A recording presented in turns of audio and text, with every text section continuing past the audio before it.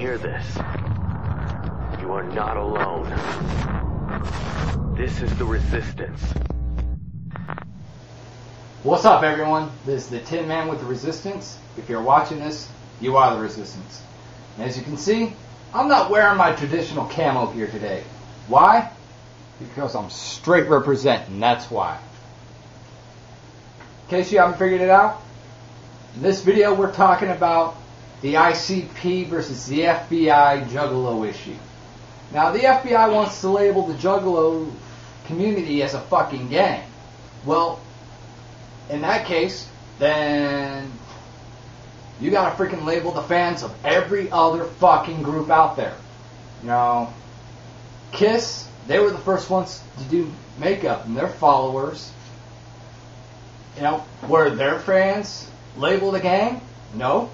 Um, fucking Columbine. Those guys were fans of Marilyn Manson. So does that mean that every fucking Marilyn Manson fan is a fucking trench coat wearing gang member who's gonna go shooting up a school? No. You know, you didn't fucking start profiling trench coats. Isolated incidences. You know, it's exactly. It's all isolated incidences and bullshit. You know, I know there are gangs out there that support the Juggalo way of life and are fans of ICP, Twiztid, Tech N9ne, Boondox, and so on and so forth. But that does not make the whole Juggalo community as a whole a fucking gang. You know, the FBI is trying to play this off as a loosely assorted hybrid gang. Seriously, what the fuck is a hybrid gang? You know, as far as I was to understand, a fucking gang had a set criteria. You know, like a fucking skinhead couldn't go and join the Crips or the Bloods. So for the FBI to insinuate the whole hybrid gang thing, that pretty much says that anybody could be in. And that's not how gangs fucking work at all. Sounds like a club to me. Thank you, thank you. Fuck. You know, juggalos, what do they call themselves? A fucking family. You know, and I know gangs have that same kind of quote ideology as well. But look at the juggalo community versus an actual gang. You know, prime example of what I'm getting at here. I mentioned before in a previous video that I went to a Dark Lotus concert some years ago. This was up in LA at the House of Blues.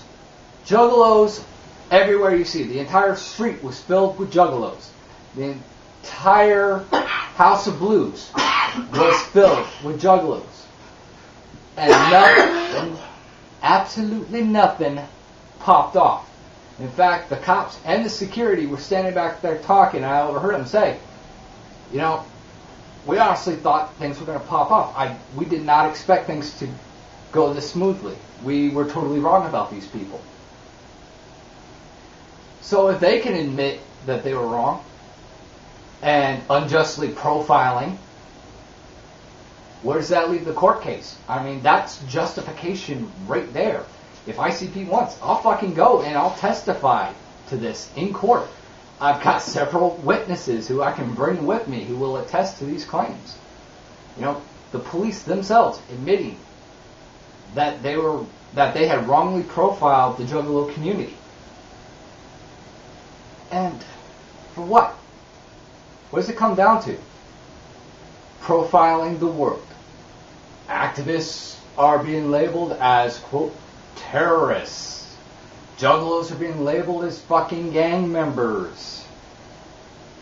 You know, even Christians and believers in, of Jesus Christ are gun owners. They're being labeled as well. Everybody's being fucking labeled. Why? Because you can't prosecute somebody without a reason. They gotta have a pretext. Just like Hitler needed a pretext to attack the Jewish community. He burned the Reichstag government building, blamed it on the Jews. Now he's got his fucking pretext.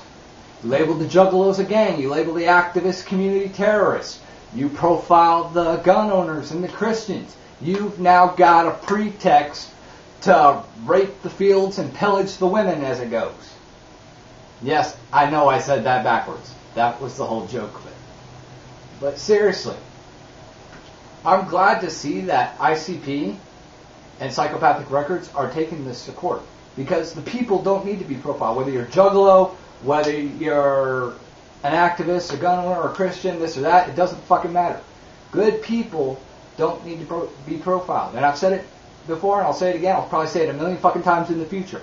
There is good and bad, good and bad in everything. And yes, there are some people who represent the Juggalo way of life who are in fact gang members. Okay, it's just a natural way of life. There's good and bad in everything, but that does not make the entire community at large gang members any more than a few dozen illegal immigrants coming across the borders classify the entire Mexican community as illegals or the entire African community as potential gang members or the entire white community as fucking KKK. Seriously, fucking think about it. It's fucking profiling and it's bullshit and it's wrong and it's not going to stand. Insane Clown Posse Psychopathic Records.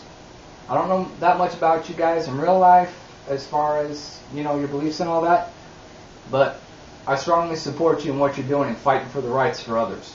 Mad props on that. And everybody, keep fighting for what's right. Keep fighting for your rights. Because if we don't, we're all going to be labeled as something and we're all going to wind up fucked in the end. Because it's not about race versus race or this versus that. It's about the 1% versus the 99%. And we can't allow the 1% to win. No way, no how. They're already losing. Let's fucking finish the fight. This is a Tin Man with the Resistance. Whether you're a juggalo, a Christian, a gun owner, or whatever, you're watching this, you are the Resistance. Peace out.